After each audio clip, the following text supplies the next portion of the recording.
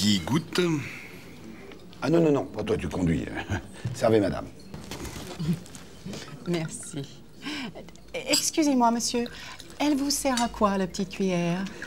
Eh bien, lorsque je sers le vin comme je suis en train de le faire, il se peut qu'un petit morceau de bouchon tombe dans votre verre.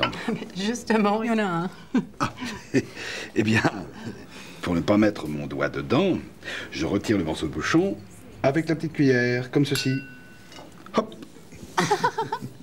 Euh, vous avez un truc qui dépasse, là. Un petit morceau de ficelle, oui. C'est également une mesure d'hygiène.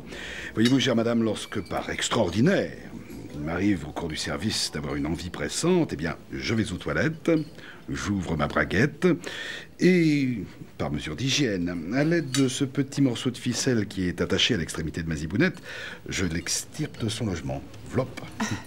Et euh, comment vous le remettez en place? C'est très simple. Avec la petite cuillère. Hop.